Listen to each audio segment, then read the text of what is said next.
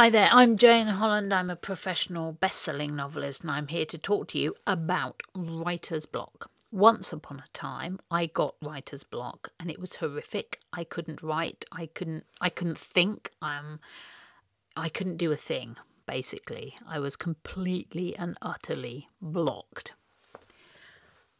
Then I got over it, I will tell you how, and I stopped suffering from it, and I haven't had another episode of writer's block for uh, 15 years now, I think. And so I know in my heart, I know for sure it is possible to break writer's block and never suffer from it again. So, how did I do it? How did I escape this terrible curse of writer's block? First, let's talk about what block is and how it manifests, because that is where the true answer to this disease lies.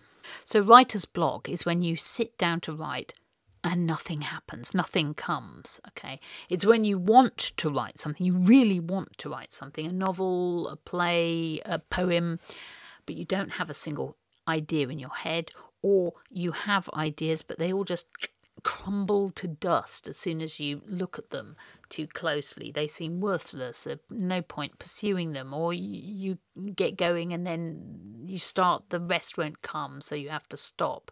What's the point? In a thriller, you get the murder, but you have no real idea who done it.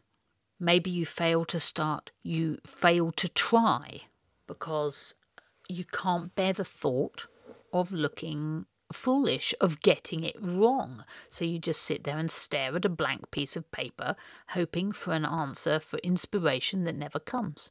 So, how did I beat it? And how can you beat it? First of all, you have to lay aside your misconceptions about what writing is. When you're writing, what you produce is not going to be perfect. Huddle up. In fact, it's it's never going to be perfect. There is no such thing as perfection. You've got to embrace that idea. You say to yourself, okay, what I write is going to be broken. But even if it looks and sounds bad, to me, it's actually fine because what is broken can be fixed.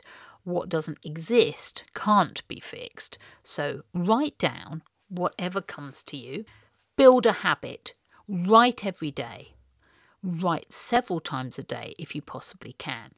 Make it a habit like brushing your teeth. Make it mechanical because that way you're stripping away the mystique from writing and you're thinking of it as a job, a job of work. It's an action that can be replicated even when you don't feel like it, you know, like push ups or whatever. Think how often you've felt like pff, junking the whole thing, the whole the whole bedtime routine uh, and just stumbling, crashing out on the bed without brushing your teeth and washing your face and all that. But you've stumbled into the bathroom anyway and you've gone through the same old actions because it's pure muscle memory, isn't it? You know what you, you've done it a thousand times. Brush your teeth, wash your face, blah, go to bed. Now you need to get to the same place where writing's concerned, not to write like it's some dreary chore, but as muscle memory okay? Muscle memory. Only the muscle involved is your creative brain up here, and the work is your novel, your poem, or whatever you're writing. You have to trust yourself and trust in the creative process. You come back to the keyboard, paper, whatever, you do your job. And that's it. That's it. That's basically it. That's how you beat block you make it muscle memory you make it habit. You just you forget about perfection you just sit down day after day and produce the goods. So now go do that. Go sit down go write your book